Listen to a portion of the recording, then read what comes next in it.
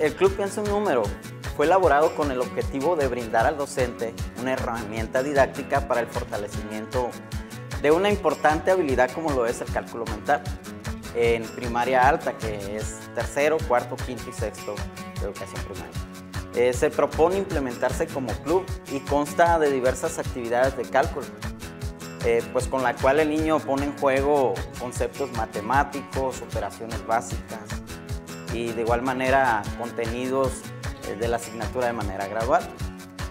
además, este, pretende fortalecer lo que son las habilidades intelectuales, como es la memorización, la concentración, y sobre todo, sobre todo, el gusto por la asignatura de matemáticas.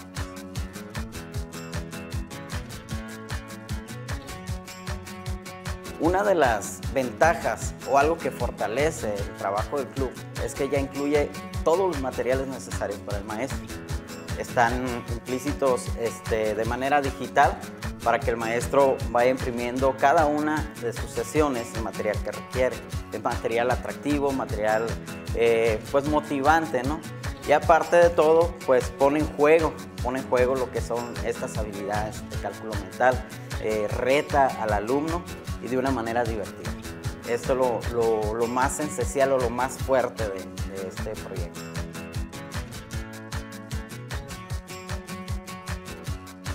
La metodología de aplicación de este club eh, está basada más que nada en el trabajo colaborativo y sobre todo su eje central es la socialización de las estrategias de cálculo por parte de los alumnos. Como pudimos ver en la actividad que el maestro presentó, eh, se le permite al alumno externar eh, su estrategia, cómo resolvió, al igual la duda. Es decir, está presente también el maestro en la retroalimentación durante todas las actividades. Eso permite al alumno pues, eh, un aprendizaje más significativo.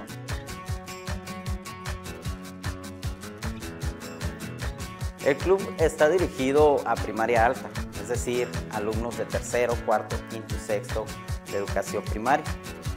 Eh, está organizado de manera tal que cubre 40 periodos lectivos, 37 sesiones y 3 de evaluación. Es decir, el docente tiene material para lo que es todo el ciclo escolar. Eh, una, cada una de las sesiones está organizada de una manera sencilla, digerible, el docente puede tomar la ficha y aplicarla eh, tal como está o hacer adecuaciones en su caso. Está compuesta por el nombre de la sesión, eh, el número de la sesión, tiene un propósito, cada una de ellas aborda un contenido específico, pero hay otras que abordan bastantes contenidos. Hay actividades donde se ve no nada más operaciones básicas, las series numéricas, sino que abarca mucho más. En una sola actividad el alumno pone en juego decimales, eh, lo que son las operaciones, lo que es el sucesor, antecesor, suma de fracciones y diversas, diversos contenidos de matemáticas. Entonces, cada uno de los propósitos cumple con esta función. Además, eh, en la misma secuencia se remite a cada material a utilizar. Eh, como les decía, si algo hace fuerte a este club es que el maestro tiene toda la gama de materiales a la mano para imprimir y trabajar. Son materiales atractivos, dinámicos, de repente juegan afuera, de repente en el salón. Posteriormente, el maestro tiene lo que es la secuencia didáctica, con una actividad de inicio, que es la que introduce al desafío de la sesión. Una actividad de desarrollo donde el alumno pues ya pone en juego lo que son sus habilidades, sus conocimientos, conceptos matemáticos y termina con una actividad de cierre. Y esta actividad de cierre, siempre, siempre el alumno va a tener la oportunidad de externar de manera verbal la estrategia que utilizó. ¿Cuál es el beneficio de esto? Porque es uno de los puntos que quisiera retomar, la socialización de las estrategias, que es una manera de aprender, de, podríamos decirlo, más significativamente.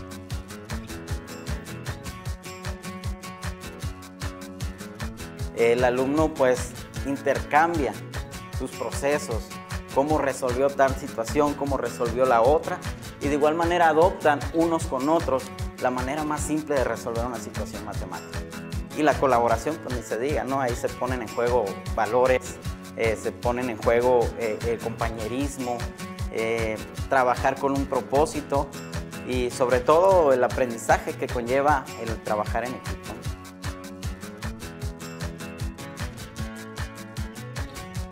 El cálculo mental es fundamental no solo en la vida escolar, sino también en la vida cotidiana. Simplemente al ir a la tienda, al comprar una prenda, el descuento de algo, el ver si voy a llegar tarde a un lugar, o sea, nosotros siempre estamos calculando. Ahora dentro de la escuela, el alumno se le facilita, sintetiza procesos, este, busca diferentes estrategias para resolver problemas y eso pues le fortalece, le fortalece en su trayectoria escolar. Eh, es por ello que el nombre de este club es Piensa un número, piensa otro.